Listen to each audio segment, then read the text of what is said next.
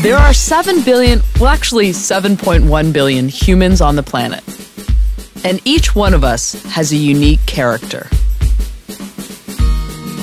So, what determines your character? You do, and all the people around you. And of course, some genetics too. But there's new science proving that if you focus on certain parts of who you are, you can develop your character and ultimately live a more meaningful, successful, and happy life, no matter what your circumstances. I mean, isn't that what we're all trying to figure out? Oh, what? This whole idea about developing our character really took shape in 2004 when two psychologists suggested that instead of just focusing on all the things that can go wrong with us, it's also important to celebrate all the things that can go right. You see, they looked throughout history to identify core virtues that humans across cultures have agreed lead to a meaningful life. And then they identified 24 character strengths that, when practiced and developed, could lead to these virtues. And they organized them, like scientists have done throughout history to understand things better. These groundbreaking studies showed that every person is a unique combination of these strengths. Like for me, I'm high on curiosity. I could work a little on the prudence. Actually, what is prudence? Anyhow, one of the most interesting parts of all this is they found that if we focus on building upon the strengths we have, it has a lasting effect on our happiness and well being. So think about it. What are your top five strengths?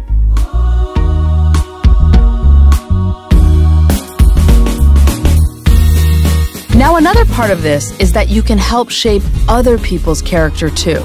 They found that the key to human relationships is ultimately appreciating the character strengths in others. To explore this, we asked people around the world who do you admire and why? I admire my mother the most because she's very loving and caring. Восхищаюсь целеустремленными людьми, которые готовы бороться за свою цель. The person I admire the most is Einstein, of course. My sister, because she is so tough and so brave. People who use their creative energy to make the world a better place.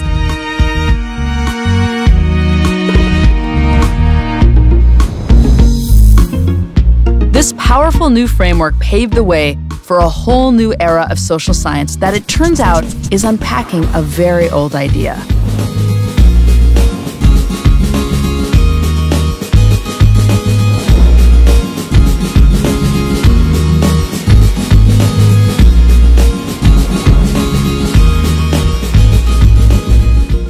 So, how do we develop these character strengths? One theory suggests that people either have a fixed mindset or a growth mindset.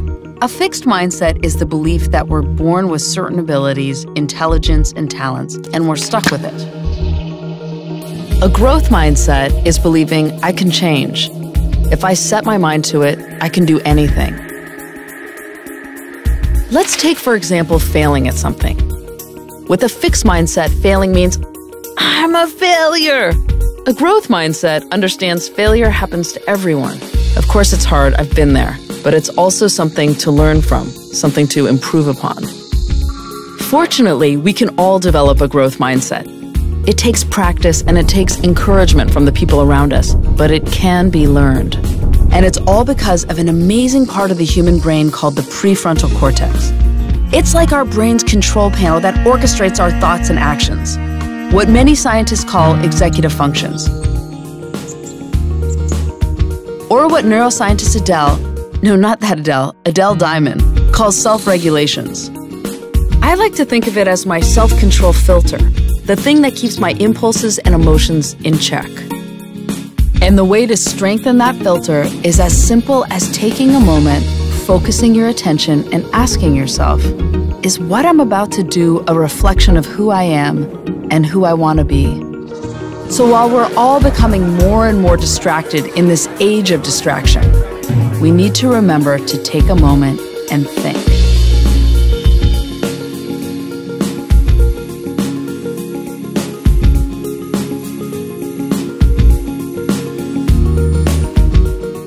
There are a lot of new exciting conversations happening about character.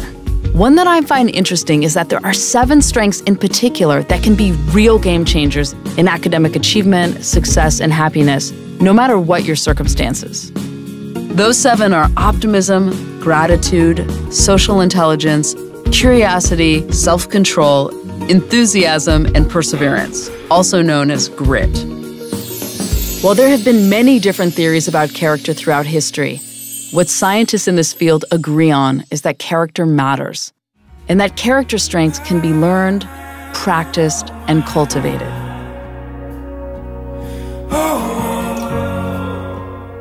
So when you think about yourself, what are your strengths? And how can you find ways to use them more in your home, work, school, and community? It's like you have these superpowers, and focusing your attention on them makes them stronger. And then, if you focus on the people around you and their strengths, it makes them stronger too. As each of us becomes our best versions of ourselves and encourages others to do the same, we can lead to important changes throughout the world. Just imagine a world infused with more humanity, justice, courage, wisdom, and compassion.